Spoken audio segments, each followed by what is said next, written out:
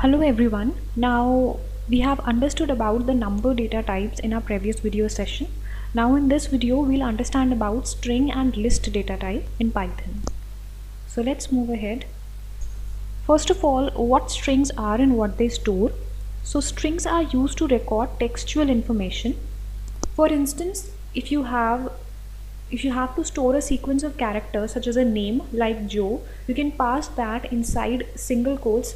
So Python would consider that as a string. So single quotes are valid in Python. Also double quotes are also valid in Python. So if you specify a sequence of character inside double quotes, that will also go.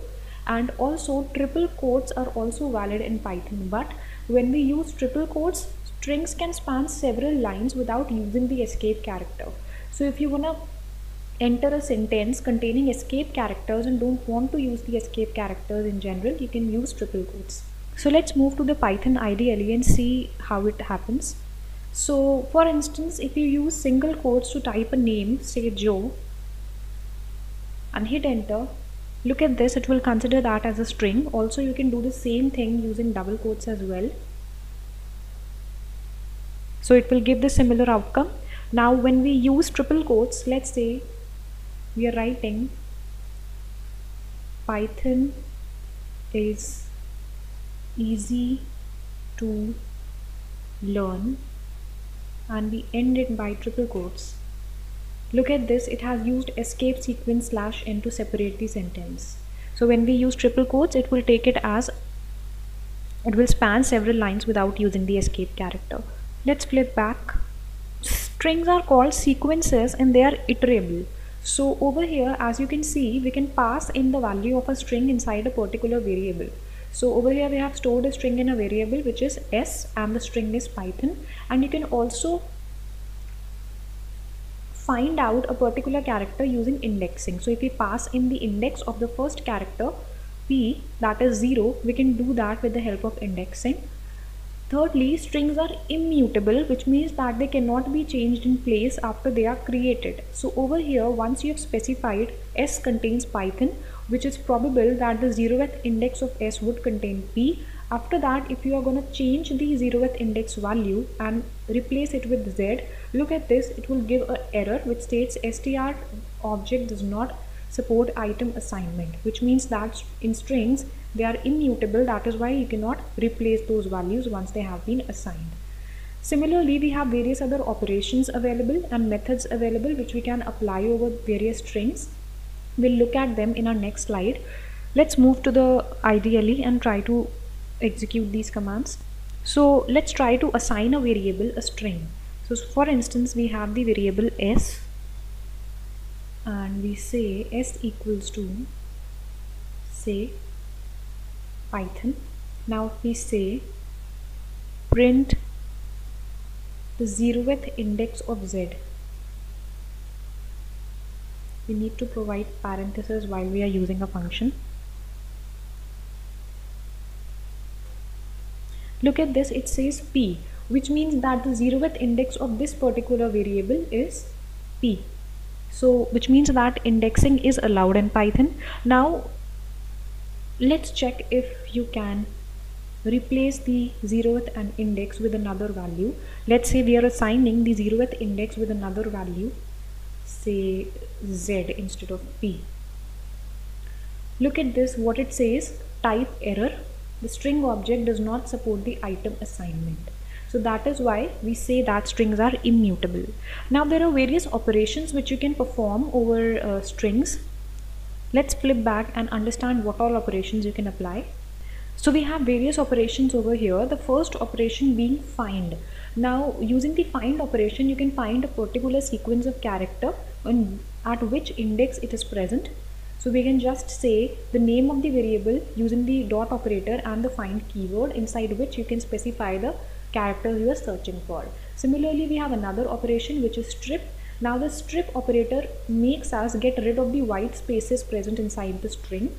Thirdly, we have the replace operation. We can replace a particular sequence of characters with another sequence of characters. For instance, they have replaced small th with capital TH. Next, we have the split operator. The split operator simply splits your sequence of characters on the basis of the delimiter you supply as a parameter inside the split operator. Next we have the is digit and the is alpha operations. As the name says, is digit is going to find out whether your sequence of characters contains digits or whether it is alpha, which means that it contains alphabets. Next we have lower and upper. As the name says, it does case conversion, which means if your the s dot lower will convert the, your string into the lower case and similarly the s dot upper would convert your string into the upper case. Next we have ends with operation. Now the ends with operation what it does? It checks whether the parameter you have supplied your string ends with this parameter or not. So it will give you an answer as true or false. Next we have the join iterable. Now what does the join function does? It's simply you need to pass inside it an iterable. An iterable variable. A variable which contains a string which is iterable and it is going to join the delimiter you specify with it. What it is going to do you're going to specify an iterable over here it is going to join the string s with this iterable. We'll move ahead inside the IDLE and see how it is done. So let's move to the IDLE so first of all let's begin with using the find operation. So for that we'll have to pass in a string inside a particular variable. So let's say we have a variable s and we are supplying this let's say Joe is the best friend of you. Hit enter. Okay. Now supposedly we want to find out where the th is present inside this particular string. So we can simply write s dot find and we can specify inside the find function what we are finding. So we'll specify th inside this and hit enter Look at this, it says 7, which means that th is present at the 7th index inside this particular string. So similarly, you can use the strip function. Now, let's say we change the variable and let's say Joe is the best friend of you and let's append this with a lot of spaces over here and hit enter so now if you see s look at this. It has a lot of spaces after the last uh, word which is you so if you want to get rid of all these spaces you can simply use the strip function. So we'll just say s dot strip and uh, using parenthesis. Look at this. Earlier it was containing a lot of spaces after you now it has gotten rid of all those spaces so which is done by the split function so let's see if our string contains any of the digits which it doesn't contains. Let's see how you can work with the is digit function. So if you say is digit over here and ending with parenthesis it says false because our string does not contains any digits. And if you say s dot is alpha it again says false why? Because despite the fact that the string contains characters, it contains escape sequences as well in between of the words if you see. So that is why it will not consider spaces as alphabetic numbers, alphabetic values. Now let's use the S lower and S upper. So if we say S dot upper because our string is in lowercase look at this. It has converted the entire string into uppercase. Now next function is ends with. Now our string ends with a space. Let's get rid of the space. So how we are going to get rid of the space? We'll just say s is equal to s dot strip. So it is going to strip off the space entirely now if you're going to look at s look at this it has gotten rid of the space so when you say s dot ends with and inside ends with as a parameter you're going to specify the value. It ends with which is u. So it will check whether our string ends with the keyword u or not and dependingly it will give us true or false. It has given us true because our string does end at u. Now similarly you can give a delimiter. Let's say we have a variable a inside which we are passing in A, B and C. Now we have another variable inside which we are passing in simply the addition symbol. Now if we say b dot join. Inside b we will pass an iterable string. Look at this. It says a plus b plus c. After every element it has added a plus symbol. Let's flip back and understand more about lists. Now what are lists? Lists, lists are nothing the literal meaning of list are they are an ordered collection of arbitrary objects which is the Python definition that is lists are nothing but sequences. So as you can see over here we can pass any number of values inside a particular list and they can also be accessed using indexing like we did with strings. Now, unlike strings, lists can grow and shrink in place and can contain any sort of object. Now, if you remember, while we were working with strings, we were giving a, an intact value which, were, which we were not able to change. That means strings were immutable, but lists are mutable and you can change the index values separately if you want. Now, again, there are various other operations available in list. The first operation being the append operation. Using the append operation, you can append your list with a particular element Next we have the extend option. Now the extend option works exactly like append option except for the fact that you can add more than one value using the extend function and not the append function. Then we have the insert function, insert operation. Using the insert operation, what you can do, you can insert a particular element at a particular index. So inside the insert operation, you simply pass two parameters, one which is the index and the second which is the value at that index. Next we have the index operation so if you can pass you pass a certain element inside the index function as a parameter it is going to provide you with the index of that particular element. Next we have the count operation which is pretty obvious. You can pass inside this a particular element and it is going to count the number of times that element has occurred inside that list. Next we have the sort op operation and uh, pretty simple enough the sort operation is going to sort your entire list in ascending order.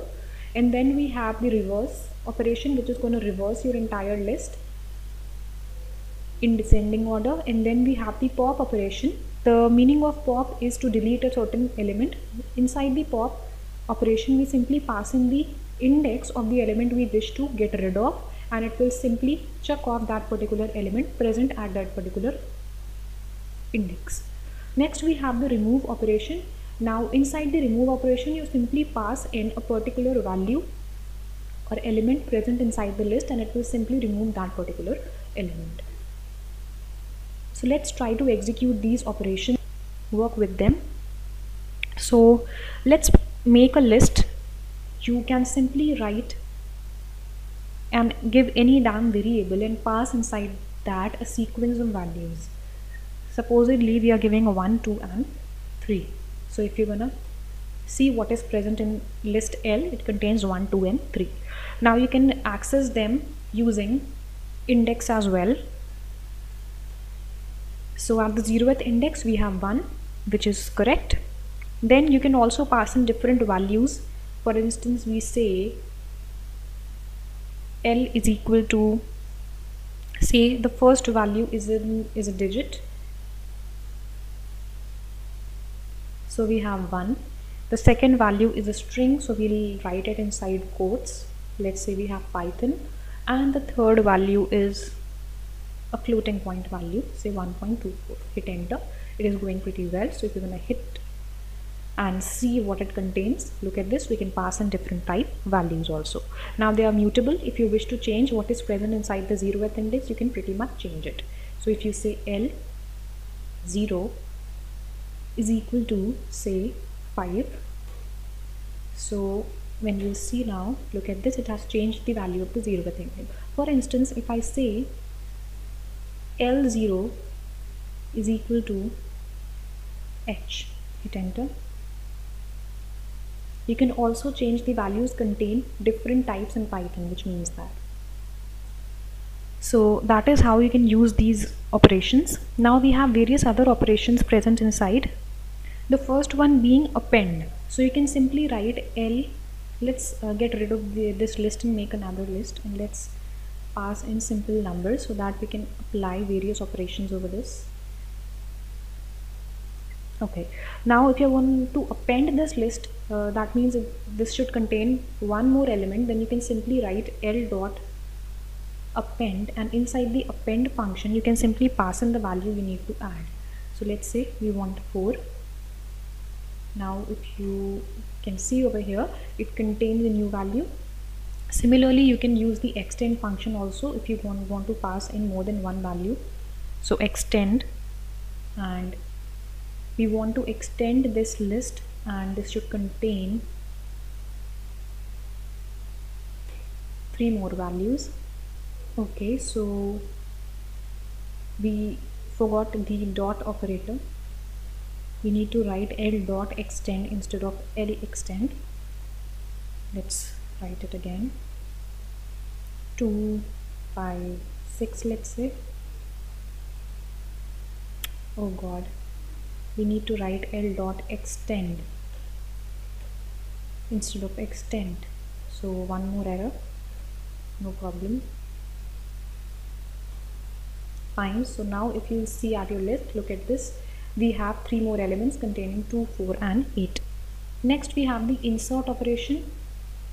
You can simply write insert inside which you can give two parameters. The first one is the index. Let's say at the first index I want 5 hit enter.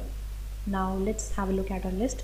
Look at this. The first index does contains a 5 then we have the search operation if you want to find a particular element you can specify its index.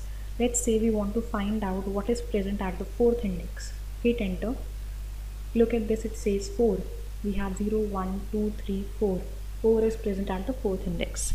Similarly you can use the count function. Supposedly we want to count how many times 2 has occurred in this particular list. So we can pass in 2 look at this it says 2 so 2 has occurred two times inside this list.